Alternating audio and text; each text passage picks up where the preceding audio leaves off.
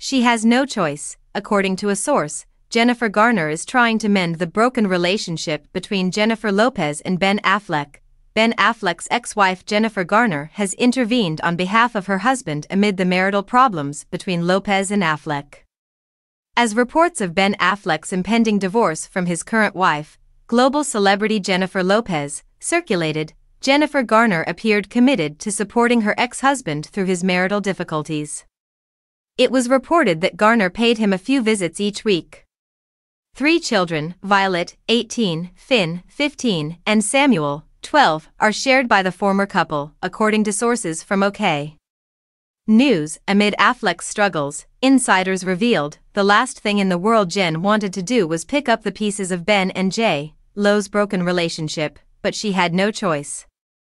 Garner felt compelled to support Affleck, who was close to his breaking point.